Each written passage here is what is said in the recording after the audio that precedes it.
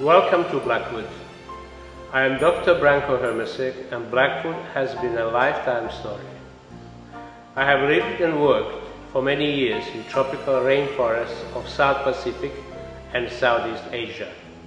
I have seen the carnage to the fragile ecosystem that cannot be reversed.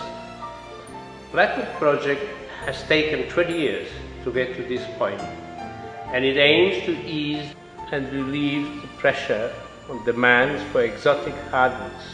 We use abundant green resource of plantation grown softwoods and put it through a chemical modification process.